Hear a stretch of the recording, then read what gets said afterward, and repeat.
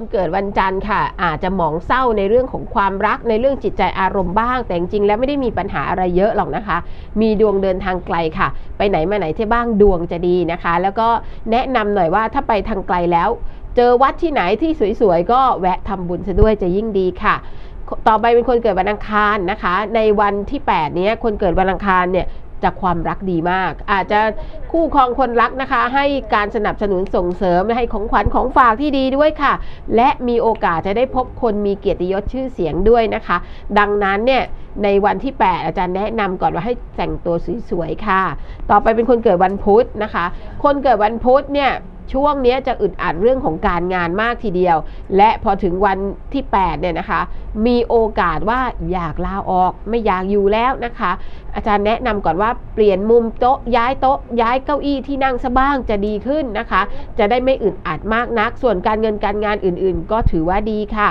ต่อไปเป็นคนเกิดวันพฤหัสบดีนะคะ คนเกิดวันพฤหัสเนี่ยงานเยอะมากทีเดียวนะคะ และมีโอกาสด้วยว่างานเยอะแต่เก็บตังค์ไม่ได้นะคะทำงานใด ๆ ไปก็ตามเนี่ยพอถึงเวลาจะได้เงิน โดยเฉพาะวันจันทร์ที่เขานัดเอาไว้ว่าจะจ่ายตังค์อาจจะ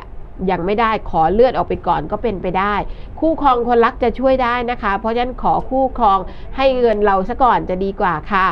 ต่อไปเป็นคนเกิดวันศุกร์นะคะ คนเกิดวันศุกร์เนี่ยความรักดีมาก จะดีไปตั้งแต่ตอนช่วงหยุดเสาร์อาทิตย์นี้เลยนะคะ พอถึงวันจันทร์คู่ครองคนรักก็ยังรักใคร่เสน่หาเราดีอยู่นะคะ และมีเสน่ห์มากสำหรับคนโสดค่ะ ให้ไปติดทองหลังพระบ้างนะคะ จะยิ่งดีไปอีกยาวนานเลยในเรื่องของความรักค่ะ ต่อไปเป็นคนเกิดวันเสาร์นะคะ คนเกิดวันเสาร์ในช่วงนี้อุปสรรคจะเยอะค่ะนะคะ ในวันจันทร์เนี่ยอย่าพูดกับใครให้มันเยอะนัก โดยเฉพาะกับเจ้านาย หรือคนที่มีอิทธิพลเหนือกว่าคุณนะคะ เพราะมันอาจจะขัดแย้งเจ้านายไม่ค่อยรักได้ อย่าเพิ่งคาดหวังสิ่งใด ๆ ในวันนี้นะคะ เพราะว่ามันอาจจะผิดหวังเศร้าหมองได้พลิกล็อกได้ แนะนำไปไหว้ศาลหลักเมืองซะหน่อยจะดีที่สุดเลยค่ะต่อไปเป็นคนเกิดวันอาทิตย์นะคะ คนเกิดวันอาทิตย์เนี่ย จะมีปัญหาแต่กับเจ้านาย หรือว่าผู้หลักผู้ใหญ่ที่เหนือกว่าเราค่ะนะคะ ตื่นเช้ามาในวันจันทร์คุณก็อาจจะทะเลาะกับพ่อแม่หรือว่าไม่ค่อยถูกใจกับญาติพี่น้องในบ้านก็เป็นไปได้นะคะ